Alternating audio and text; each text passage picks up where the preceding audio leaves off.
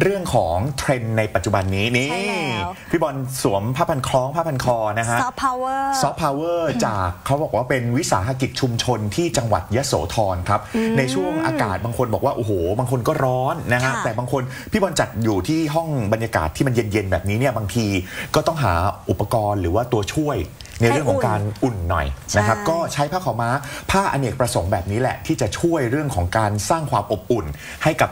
ช่วงของลำคอของเราว่าอย่างนั้นนะเนาะแล้วดูของน้องเมย์ล่ะจากที่ไหนของวันนี้นะของเมย์นะคะเป็น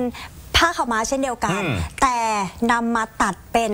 ชุดเดรสค่ะอืมคือแบบว่าทันสมัยเข้ายุคเข้าสมัยเป็นแฟชั่นนำเทรนด์เลย เป็นผ้าขาวม้าอัดกาวนะคะ ดีไซน์เก๋ไก๋นะคะอ่าอัดกาวแบบว่าใส่สบายไม่ร้อน ใส่ไปเที่ยวได้เลยนะ สงกรงสงกรานต์อ่าใส่ได้เลยนะคะ ชุดนี้นะคะของเมย์นะคะจากที่ไหนฮะอ่า เป็นผู้ประกอบการโอท็อปนะคะ คุณ